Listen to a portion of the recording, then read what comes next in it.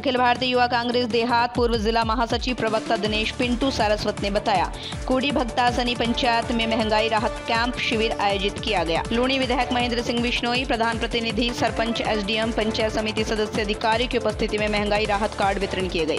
पास ही दो सौ उनहत्तर बटा एक खसरे सोलह बीघा भीलों की ढाणी के पट्टे के लिए कलेक्टर से आदेश जारी करवाए महँगाई राहत कैंप में लूणी विधायक महेंद्र सिंह बिश्नोई एसडीएम प्रधान प्रतिनिधि हनुमान सिंह राजपुरोहित, कोड़ी सरपंच चंद्रलाल खावा अखिल भारतीय युवा कांग्रेस देहात पूर्व जिला महासचिव प्रवक्ता दिनेश पिंटू सारस्वत, ग्राम सेवक भूराराम विश्नोई, भारी तादाद में पंचायत की जनता की उपस्थिति में महँगाई राहत कैंप प्रशासन शहरों संघ कैंप शिविर रखा गया। ओम राम, जोधपुर से रिपोर्ट।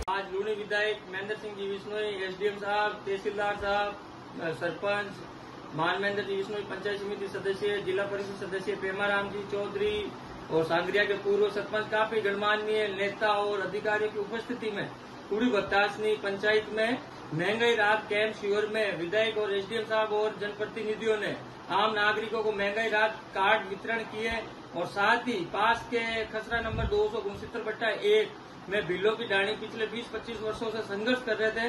विदय मोदी ने कलेक्टर से मुलाकात कर और उसका भी समाधान कराया, जो शीघ्र ही अब इनके बिल्लों की डाणी के जनता को पट्टे वितरण होंगे।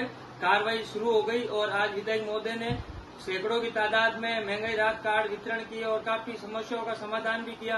और सबसे बड़ा कार्य जो आज बिलों की डाणी में उत्साह देखने को मिला, उनको पट्टे मिलेंगे। जो 20-25 वर्षों से लगातार संघर्ष कर रहे थे, जयतू सिंह जी राजपुरोहित और उनके साथ के प्रतिनिधि लगातार प्रयास कर रहे थे और जिसमें आज हमारे विधायक महोदय ने कलेक्टर से अनुरोध करके इनका समाधान करवाया। महँगाई राहत कैंप के अंदर और भारी तादाद में भीड़ उपस्थित हुई। सरपंच और अन्य जनप्रतिनिधि, एसडीएम, तहसीलदार सभी ने आम नागरिकों की समस्या सुनी और उनका समाधान किया। महँगाई, राहत कैंप और प्रशासन के संग दोनों